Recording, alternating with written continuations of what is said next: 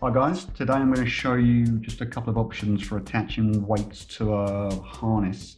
This is actually the Razor 2.5 harness, so one of the methods is exclusive to the Razor, um, but everything else is adaptable to, to every unit, okay?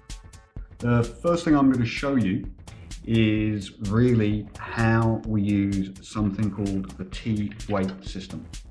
So it's a system that's particular to the Razor, and what it gives you is to run weights along the waistband using uh, an extra piece of webbing that's doubled over. So that's quite simple to use. So I'm not going to show you that one today. What I am going to show you is the other part of the T, which runs up the spine. When it's installed, you get some Velcro that's just wrapped around the spine. So I'm just going to take this off.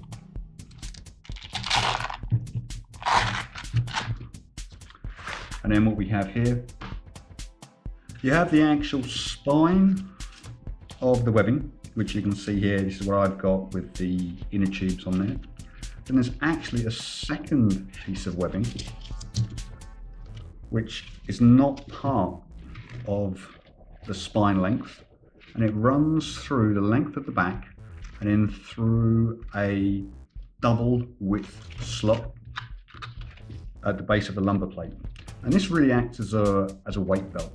So what we can do if we want to add some weight to it is we just unthread just the bottom part. Then this should pull out nicely. And here we are. So it's just a separate piece of webbing that's coming from the same top plate. We're now going to do, we're going to take the weight block and we're just going to make sure that we put it the right way around. There's a flat part and just a slightly indented part. Now it's not a big deal, but that's going to be marginally more comfortable on the back. Okay, so what we're going to do is we're just going to thread the weight, just like a regular weight belt, through one,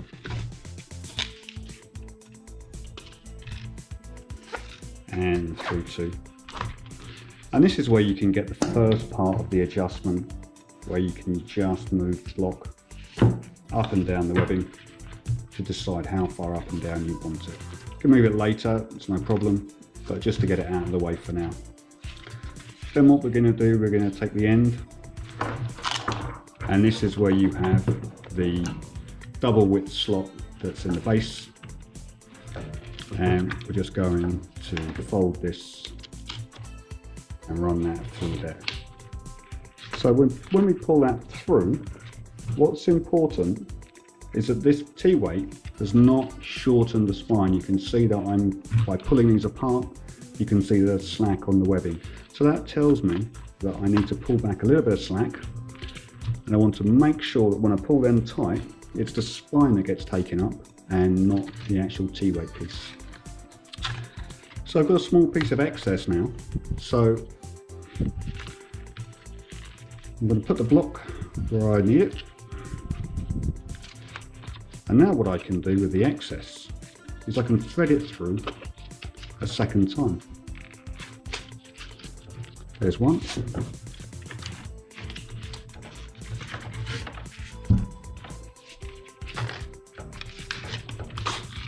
And there's two.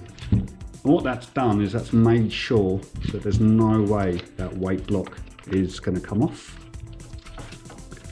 Once that's on there now, can now come back and take the piece of Velcro and all I'm going to do is just make sure that all of the loose pieces of webbing are now nicely held inside the Velcro band. And there you have it. One other system that's unique to the Razor is the new weight pocket. These weight pockets are designed to fit inside uh, as an extra layer. This isn't part of the actual lift, that's coming from here. And then what these are doing is these are going inside. So just to show you that, there's um, the blanket or the, um, the plate runs over the entire wing and it has these slots. The slots of course are what these little fingers on the back will go into. And what they're designed to do is give you lift that's not going to interfere with the BCD. So you can also see that you can literally place those anywhere. So it gives you a lot of flexibility. And we can talk more about where you might want to put weights for different configurations. So just to show you how they work, quite simple. Take the weight block, pop it inside, flows over the Velcro. I'm just going to go this way up. So I just make sure the catches are off. And what I'm looking to do is just come in the gap here and just to show you, create some slack. Decide where you want to put your weights and then what you can see is that the two little um, hooks. You'll just tease those through the holes. So here they come. Going to pull those nice and clear. And on the other set of holes it's just below the actual teeth just going to check that they're exposed. And then when these fold over they just click into place